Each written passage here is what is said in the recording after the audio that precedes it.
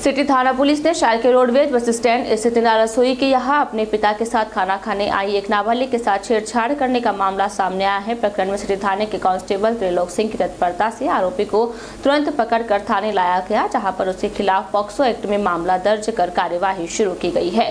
प्रकरण की जाँच महिला थाना प्रभारी विद्या मीणा कर रही है। डिप्टी मनीष कुमार चौधरी के अनुसार भीलवाड़ा हाल मसूदा रोड पुलिया के पास निवासी एक व्यक्ति सोमवार शाम सात बजे रोडवेज़ बस स्टैंड पर अपने दो नाबालिग बच्चों के साथ खाना खाने के लिए पहुँचा था। खाना खाने के दौरान उसकी एक छोटी बच्ची ने कपड़ों पर खाना गिरा दिया था। खाना खाने के बाद बच्चियों का पिता अपनी आठ वर्षीय बड़ी बेटी को इंदिरा रसोई के बाहर खड़ी कर पास ही में स्थित प्याऊ पर छोटी बच्ची के कपड़े साफ़ करने के लिए गया था। डिप्टी चौधरी ने बताया कि इस दौरान वहाँ पर मांडावास निवासी सैतालीस वर्षीय सुरेश पुत्र देवी काठात नशे की हालत में वहाँ पर पहुँचा, जहाँ पर उसने बच्चे को अकेली पाकर उसके कपड़े उतारने लगा तथा उसके साथ दुष्कर्म की नियत से छेड़छाड़ करने लगा।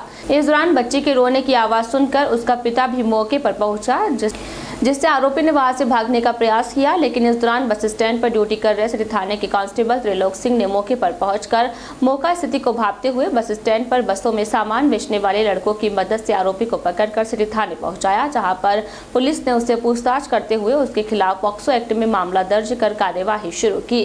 डिप्टी मनीष चौधरी ने बताया कि आरोपी शहर में किसी पेट्रोल पंप पर तेल भरने का काम करता है और नशे में होने के कारण उसे ज़्यादा जानकारी नहीं मिल पाई है। पुलिस द्वारा आगे की पूछताछ की जा रही है।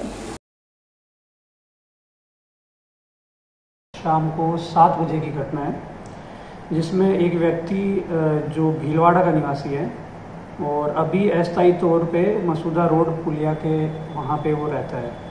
और करीब शाम को सात बजे जो इंदिरा रसोई योजना है, जो यहाँ ब्यावर बस स्टैंड के ऊपर जो चलती है, वहाँ वो अपनी दो नाबालिग बच्चियों को और ख़ुद खाना खाने के लिए आया था। तभी उसकी छोटी बेटी ने अपनी कपड़े वगैरह गंदे कर दिए थे तो वो अपनी छोटी बेटी को साइड में ले जाके उसके कपड़े साफ़ कर रहा था, वो पानी से धो रहा था उसकी पैंट। तभी उसकी जो बड़ी बेटी है, वो थोड़ी दूर थी और वो बैठी हुई थी।